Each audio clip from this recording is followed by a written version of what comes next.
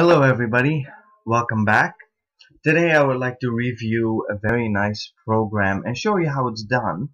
Um, I'm actually uh, showing it right now. It's uh, a software where you can record your own screen of your laptop or computer. Now it's called Screenpresso and if you look down you will see a flashing red blue uh, square with a P in it. Now that's the logo. It says that it's filming right now. And let me show you where you can download it. Here we go. ScreenPresso, the ultimate screen capture tool. And I have to say, um, it is a very, very nice program. Very nice tool. I love it. And you can download it for free. It's also um, available for the iOS 7. I'm going to check that out after this and maybe I'll make a video about that too.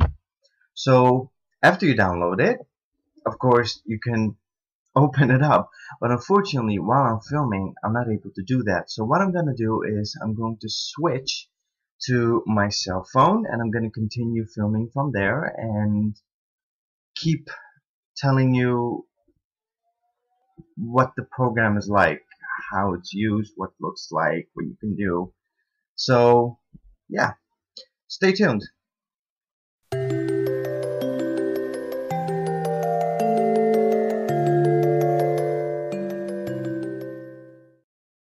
Okay, now we've switched to our plasma TV because it is a lot handier and a lot better than a small laptop screen. Now as you can see, you can see the video that we just took right here and you can see right here. Hello everybody, welcome back. Today I would like to review Well, as you can see, it looks really, really nice. show you how it's done. And uh, if you go back to ScreenPresso, uh, showing you. you can see on the bottom side capture you can either make a screenshot or record a video. So if you pick screenshot and then click with the mouse you can see right here that we just made a screenshot. And as you can see the screenshot looks very very nice. Very nice. This is a moth by the way. Okay and then, of course, you have the ability to capture a video. The red circle you see right here is how you start a video and you can use the print screen key to start or stop the video. And this is the resolution of the video as you can see. It's full screen.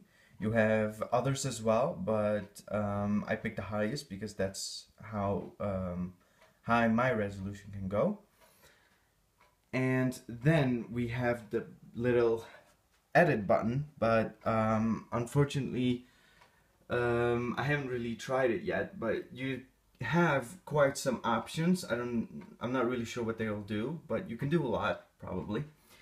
And last but not least there's also a publish button but unfortunately there is no YouTube so you're gonna have to upload it uh, yourself but that's okay you can do it. And you can also send by email. but um, no, we're not gonna do that. So thank you guys for watching and I want to thank my little brother for helping me. He has been playing the mouse. And um, I will see you guys next time.